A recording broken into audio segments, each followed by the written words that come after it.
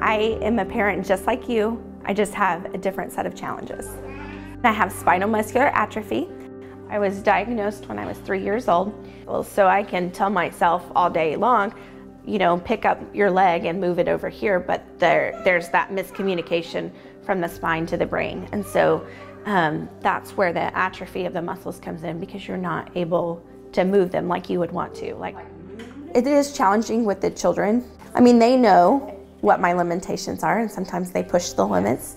But it was harder, I think, as they were infants, um, just because it was more challenging. Like I couldn't get them off the floor. Um, but I will say children are very resilient, and um, I would even at six months, my kids would come to the bottom of the chair where my foot plates are, and they crawled up. Um, it's not always easy. The crib was an issue. When Owen was first born, I didn't know how am I going to get a baby out of the crib. Like, what? I can't reach down in there and pull him out. So my husband built a crib, added doors to it, and raised it up, and so I can roll right under, and then you know that I'm able to lift the child out.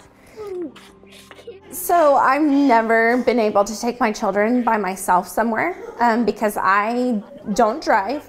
Um, a wheelchair accessible van, I'm not sure, you know, if a lot of people know just how expensive they are. Just one without any kind of modifications, just a ramp to get into the van is about forty to sixty thousand dollars, just depending on the type of van you get.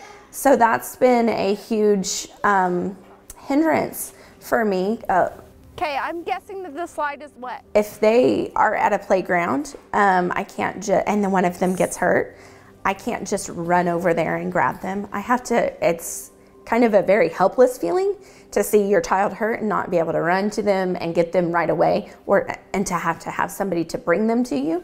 Um, that's, that's kind of a, a difficult thing sometimes. Um, I do think maybe that there's some judgment because I think too a lot of it comes from people just not understanding. They don't know what my situation is, whether that because they haven't asked or um, a lot of people just assume that maybe I'm in a chair because I had a car wreck or something. They don't understand that it's it's this has you know been my life for a long time. The question that I typically get is, well, if you know that it's genetic, then you know that poses a risk for your children. So are your children at risk for that?